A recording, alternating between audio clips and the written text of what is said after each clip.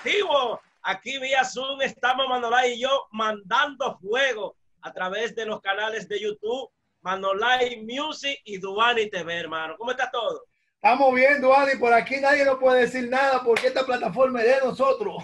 No pueden mandar strike ni mandando a borrar video. Nada de eso. Aquí estamos nosotros para nosotros hablar de todo lo que nosotros queramos. Y la tecnología, Duani, ha venido a hacer esto porque ahora mismo esto es lo que está de punta. Vía Zoom se está haciendo todo. Y es más chulo porque vamos a tener contacto con la gente. Y Duani, y nos vamos a comprometer que vamos a dejar nuestro correo electrónico para que la gente nos escriba por bien, porque sería chulo que metamos a dos o tres personas que nos siguen a estos Zoom para que opinen. Vamos a hacer eso también. Exacto. Y recuerda que tenemos pendiente que vamos a rifar tanto en tu canal como en el mío. Vamos a rifar dos tablets. Vamos a estar rifando regalos para que la gente ahí. Vaya las cosas, le metemos cuatro. Eso sí es verdad. Vamos a darle duro para la gente que se suscriba. Duani, ¿qué vamos a hablar hoy? Porque tú eres el, hombre que está muy informado en este país. No, pero Manolo, no diga eso, porque que, que te informado eres tú. Lo que eres tú y Manolo y el boli, y toda la gente más informada. Manolo, mira, vamos a hablar de farándula, vamos a hablar de política, vamos a hablar de todo. Pero quiero comenzar hablando del cocodrilo, de Nelson Javier, que tú sabes que le hicieron lo mismo que al Pachá. Rian, lo sacaron del canal. Dicen que fue que él se fue, pero mentira, fue que lo sacaron. ¿Por qué lo ¿Tú me sacaron? entiendes? Lo sacaron, se fue para Teleuniverso, otro canal de Santiago. Que yo no sé cómo el canal 25 dejó ir la figura del cocodrilo, porque en ese canal no hay maná.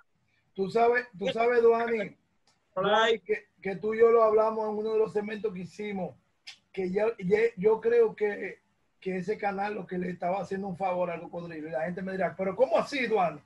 El problema está, Duani, que ya Cocodrilo, por su condición de salud, ya Cocodrilo es una persona que ha ayudado mucho, que tiene dinero, gracias a Papá Dios por su trabajo. Yo creo que la vida le está diciendo a Cocodrilo que tiene que tomarse unas vacaciones ya. Ya hay una nueva camada de personas y yo creo que él está poniendo en riesgo su vida, Duani, porque enfrentar, enfrentar un programa desde cero para pa poderlo habilitar y para poderlo ponerlo en posición es como más problema. Yo no sé si tú estás de acuerdo conmigo. Manolay, mira, yo estoy de acuerdo en algunas de las cosas que tú dices, pero lo que pasa es, Manolay, mira, esto viene siendo, tú sabes que a veces hay viejitos, uno quiere que se sienten, que ya, que no dé un golpe más, incluso que hasta uno lo mantiene. Pero si tú lo sientas, se mueren más rápido. Pasó con los padres de un comediante famoso de aquí, de este país, que sentó a los padres porque él se hizo famoso, valga la redundancia, lo mantenía, pero los padres se sintieron inútiles, no movían ese cuerpo. ¿Tú me entiendes? Lo mismo pasa con el cocodrilo. Ok, él, él tiene su problema de enfermedades, del ojo, que el azúcar, que el pie. Pero si se sienta, se muere más rápido, eh, Manolay. ¿Tú me entiendes? Te... tiene que sentirse productivo, tiene que sentirse activo, porque de lo contrario se va a sentir inútil. Y yo pienso, mira, Manolaya, como está la comunicación ahora mismo, hoy en día, el cocodrilo puede estar en el canal de la mona, el pachá puede estar en el canal de la mona, y van a funcionar. ¿Por qué? Porque tú lo acabaste de decir. Ahí están las redes, Manolay. Mira, por ejemplo, mira, yo ahora mismo, estamos vía Zoom, la tecnología, sí. pero tú tienes una escenografía detrás de ti, es yo verdad. tengo una escenografía detrás de mí, y necesitamos ir a una plataforma tradicional. No, no. No, no, no hermano, esto cambió, esto cambió, ya cualquier persona tiene un estudio en su casa, y en Teleuniverso, en Teleunión, donde quiera que le esté, va a funcionar. ¿Por qué? Porque ahí tiene a Cachicha, ahí tiene a YouTube, y tiene más plataformas donde él promocionarse donde quiera que él se meta. No, y ya, y, y, y, Incluso, déjame decirte, Manuel, tú no sabes este dato. Los dueños del canal 25 son los mismos dueños del canal 9. Oh. ¿Y qué decía el Pachá? Que el cocodrilo es su papá. ¿Y qué hicieron la gente de, de los Bermúdez? Primero sacaron al hijo y luego sacaron al papá. Y luego el cocodrilo. Papá. Y, no, y, tú mismo me estuviste diciendo que el Pachá eh, lo, lo viste hasta por YouTube. O sea que yo creo que el Pachá no le va a afectar tanto eso. Tiene los mismos anuncios, tiene la plataforma de YouTube. Y para nadie es un secreto que todos los canales, nosotros trabajamos en un canal y ese canal ahora mismo está, está haciendo un, un paneo de que va para YouTube y va para la televisión. El Telemicro se ha convertido también en digital también, que tiene su canal de YouTube, que creo que es el canal de YouTube con más contenido, ¿no es así, Eduardo? Claro, y el canal de más alcance. Imagínate que se meta entonces ya de lleno en lo que son las plataformas digitales como YouTube, eh, que déjame decirte, ahora que tú mencionas Telemicro, recuerda que Telemicro es uno de los canales, o uno no, es el canal de este país que más suscriptores y más seguidores tiene en YouTube. dos millones y pico, que ningún canal lo tiene. No, y tiene, y, y tiene video ahí, Duani. La gente porque tal vez no puede investigar, pero hay unos videos ahí que tienen 150 millones de views, que hay que meterle la API a 150 millones de views, el video que tiene el canal de, de Telemicro. Claro, hermano, eso te quiere decir que la tendencia es YouTube y otras plataformas. Pero bueno, paremos, paremos un poquito lo de Nelson Javier en el cocodrilo. Y, y háblame en tu chin, que tú domines ese tema más que yo. Háblame del lío de Don Miguelo y, y este muchacho, Gabriel. Ay, muchacho, hay un lío armado. Don Miguelo dice, Don Miguelo subió la publicación de la niña, que Don Miguelo, para dar una falta, está incumpliendo en otra falta. Pero eso lo vamos a Le cayeron arriba a Don Miguelo, acuérdate. Exacto, le caen arriba a Don Miguelo para que la gente refresque la memoria, porque él subió unos niños cantando una canción que no está orientada a los niños. ¿Qué pasa? Al Manny subir una canción con una niña bailando la canción, Don Miguelo se le ha entrado una furia y Don Miguelo ha dicho que, que si ya las autoridades están buscando a Manny preso. Después subió otro post que él borró todo porque le, dio miedo la publicación. Y mi pregunta es, dice lo mismo la canción que hace Don Miguel y la canción que dice Manny, expresa lo mismo. Entonces tú no puedes poner a un niño a decir el, el- el- poema de la patria o decir eh, la canción de la patria o a, a decir un poema, lo que sea. Tú no lo puedes grabar. Es lo mismo sentarse a perrear y sentarse a decir valores patrios. Don Miguel, en, este- en esta ocasión, creo que Don Miguel. Sí, creo que Don Miguelo puso un huevo de abertura en este caso. ¿Por qué tú no puedes mandar a las autoridades? Ahora, Duani, tú lo sabes. A él se le condenó por el baile, se le suelta, pero Don Miguelo comete una falta porque Don Miguelo sabe que no puede subir menores a la red y él subió esa menor también. Aunque sea repos, él la subió. Pero yo te voy a decir una vaina, Manolay. Está bien, tú tienes razón. Y estoy de acuerdo con tu planteamiento. Los movimientos no son iguales. Y yo entiendo que sí, que un niño puede participar en un video. Ahora bien, tú lo dijiste, depende con qué canción y con qué tipo de movimiento y qué se dice en la canción. La canción de Graviel dice, eh, eh, dice muchas cosas bonitas, Manolay. De la de Manny. Además, los niños como, como folclórico, una cosa. Yo pienso que no debieron borrar eh, el video. No debieron borrar el video porque son situaciones diferentes. Al contrario, la canción es bonita, incita a cosas buenas, pero la de Don Miguelo no. Y tuviste una vez cómo le cayeron arriba a los haters de Don Miguelo. Porque tú vas a decir una cosa, Manolay. El que apoya lo que hace Don Miguelo y lo que dice Don Miguelo son lacras igual que, que- que la música que ellos hacen. Sí, lo, claro. lo- lo- más increíble, Duani, que a veces no son ni los artistas. A veces Don Miguelo pudo haber dicho eso, pero a veces los artistas no se meten con uno y son los seguidores, porque a veces estos seguidores de este país, de la música urbana, son más artistas que los mismos artistas.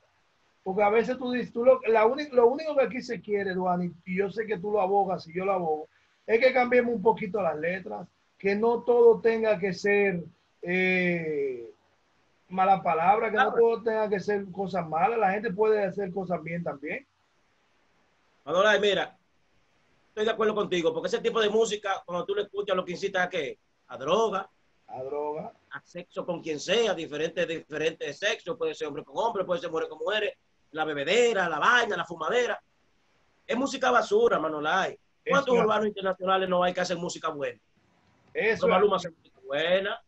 No, y, y- y- pero, pero el, el problema es un problema de educación, que necesitamos educar a los jóvenes, porque que lamentablemente eh, esto, está- esto va en deprimentos cada día más. Cada día más estamos viendo, estamos viendo esta clase de música que es la que está acaparando todos los ambientes de nuestro país. Y a veces tú no le escuchas, Duani, en tu casa, pero tú, sales- tú mandas al niño al colmado y el- el- en el colmadero está la canción. Entonces, ¿cómo tú evitas que el niño tenga contagio? Porque muchas respuestas de los artistas es, no, es que yo no dejo que mi hijo, eso es mentira, hermano. Cuando usted sale para el Conde, cuando usted sale para la zona colonial, cuando usted sale para el malecón, hay personas que tienen unos raditos ahí y escuchan la música, no hay forma de tú controlar eso. Pero, pero le escucha a uno que uno no quiera, pero es música basura, Manolay. Estamos de acuerdo con que Es- basura.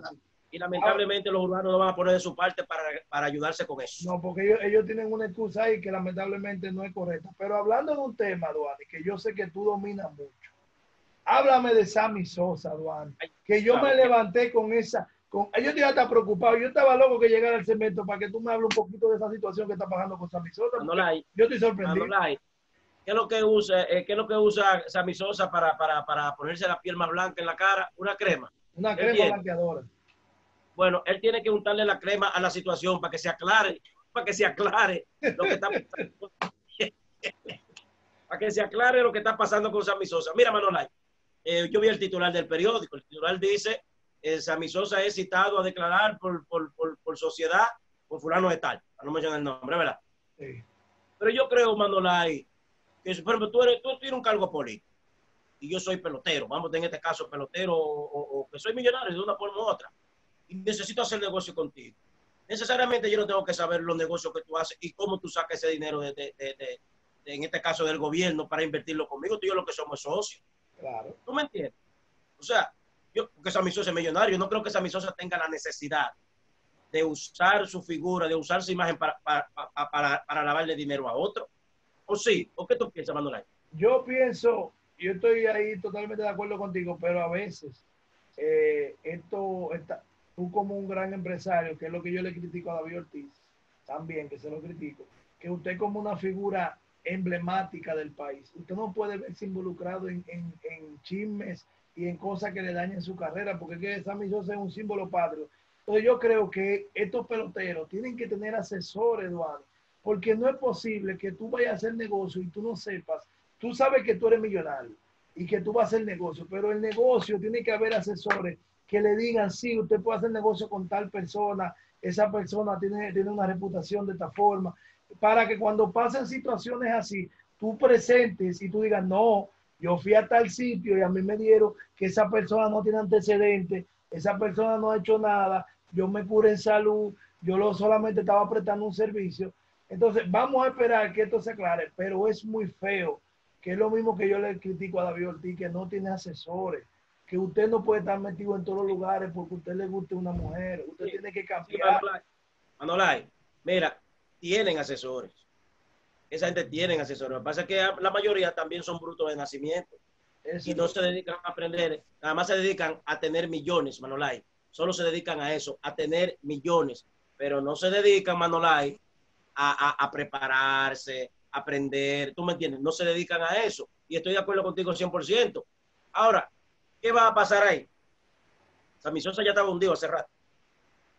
Fíjate que ya con la vaina de los escándalos, de los esteroides, de la vaina, su carrera como, como pelotero se acabó rápido. Sí, no, no pudo, no, pudo, no, pudo, entrar al Cooperstown, no lo eligieron. Yo sé cuál es, cuál es el bendito afán de tú hacer negocios con, con personas donde tú tienes todos los millones del mundo ¿Tú me entiendes? Recuerda que también el mismo David se llegó a mencionar que, que tuvo en caso que, que, fue amigo de César el abusador, que le compró un apartamento, que por O sea, ¿qué necesidad tienes tú de acercarte de una forma u otra a personas que lo que están haciendo es fechoría, entre comillas? Porque tampoco podemos decir que el tipo es culpable. Supuestamente, él, ah. supuestamente. ¿Tú me entiendes? Pero, por ejemplo, yo sé que tú eres malo, yo sé que tú consumes. Vamos a poner que, vamos a poner, Manuel consume droga, Manuel si yo no quiero entrar en ese juego, yo lo que tengo que buscar la forma como de alejarme. Claro, y, tú puedes saludar a una persona, pero no involucrarte en negocio porque sabe que te va a traer problemas. Y, retomando el caso que me la, de la pregunta que me hiciste, que no te la acabé de contestar, ellos sí tienen asesores. Lo que pasa es que hay personas que aún teniendo los asesores, ellos hacen lo que les dé la gana como quieran. No se dejan manejar, de verdad. Ahí, ahí, tú, ahí tú tienes, ahí tú tienes toda la razón, pero me da mucha pena que nombres así como David Ortiz, como Sammy Sosa, se vean involucrados. Recuerden también eh, que aunque fue descargado, fue investigado en el caso de César, Adrián Beltré. Hay unos peloteros ahí supuestamente que fueron llamados. Manolay, por ejemplo, nosotros somos humoristas, pero yo he hecho fiestas con gente que son de ese mundo, que son gente del narcotráfico, yo he hecho fiestas pero yo no he hecho fechoría, yo no he consumido lo que ellos hacen. ¿Tú me entiendes? Porque tú solamente fuiste a prestar un servicio, te pagó por otra, porque esa es otra, por ejemplo, eh, ah, bueno, el tipo está en el poder, yo puedo ser ya amigo de un tipo que está en el poder sin saber lo que está haciendo. Eso es así. Eso puede pasar, Manolay, ¿tú me entiendes? Eso es así. Y así sucesivamente. Mira, Manolay, yo creo que debemos, debemos como dejarlo hasta ahí ya, por hoy, ¿qué tú crees? No, no, no, yo quiero, una especie como de ensayo porque es primera vez que lo hacemos. No, yo quiero que tú me hables un poquito yo quiero saber tu opinión de esto, si va a haber más gente presa, si van a llamar a más, porque yo tengo entendido de que sí. Tú entiendes, Duani, que nosotros vamos a ver más gente presa y que el pez gordo todavía no ha caído. Oh, pero Manolay, los que se están tirando del barco del PLD para montarse en el otro barco, que es la fuerza del pueblo, ahí hay mucho de eso que hay que llamarlo obligado.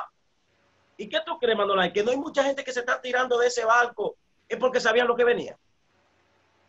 Sabían lo que venía, Manolay, por eso lo ves sacando ¿y tú crees que, que la fiscalía se atreva, aunque la ley proteja a los expresidentes, ¿tú crees que la fiscalía va a llamar a Danilo Medina a testificar? Bueno, Manolay tiene que llamarlo. Manolay tiene que llamarlo. Aunque no lo metan preso, pero hay que investigarlo porque hay muchas cosas. Incluso hay familiares de esos que están detenidos. ¿Cómo va a ser, Manolay? Manolay, ¿cómo va a ser que, yo tengo un hermano y, mi y, que yo no sepa lo que mi hermano está haciendo, donde yo soy el que controlo la casa? No, y, yo no quiero decir que sí, que también es culpable, pero Manolay está fuerte. No, y lo que, y lo que tuvo, eh, en todo esto, hay mucha gente que se le está atribuyendo a las investigaciones que se hicieron muy me estuve escuchando hoy a Alvarito y a varias personas y dicen que la página solamente de cosas tiene como 300 hojas, pero lo que lo más fuerte de Eduardo, lo que yo estuve leyendo y investigando, es que él tenía varias compañías que tú sabes que, que cuando, cuando varias compañías que suplían al Estado. Que suplían al Estado, pero nunca pasaron por litis. Me explico. Duani Pérez tiene un negocio, que Duani lo tiene de comida, Duani, el gobierno dice, yo necesito dos mil comidas. Entonces, Duani, que tiene un negocio que quiere hacer varias de esas comidas, no lo puede hacer porque tal vez el hermano del presidente tiene lo mismo sin hacerlo, sin tener el negocio, pero lo hace de intermediario. Entonces, eso, eso es malversación de fondos, eso es, eh, tú no fuiste a la litis, todo, eso, es, todo eso es, Lo mismo que hizo Kimberly. Si Kimberly iba presa, ellos tienen que ir presos. Claro. Lamentablemente. Manolay, para irlo te voy a hacer una pregunta a Bucapié, porque no puedo dejar hacer la pregunta a Bucapié, Manolay. ¿Cuál es la pregunta? Cuidado, cuidado, cuidado. Tú sabes que yo leí un titular donde dice un expresidente que el PLD se emborrachó de poder. Y yo le digo, Manolay, a ese expresidente, y cuando tú estuviste en el PLD, no te, no te diste tu traguito y te emborrachaste también de poder en ese entonces. No, yo no te voy a contestar eso, no, yo te voy a parar el, el Zoom ahora mismo. No, pues tú no me vas a meterle a mí. Oh, el, el próximo presidente que está. No, no, no, y si él gana, no, me voy, me voy,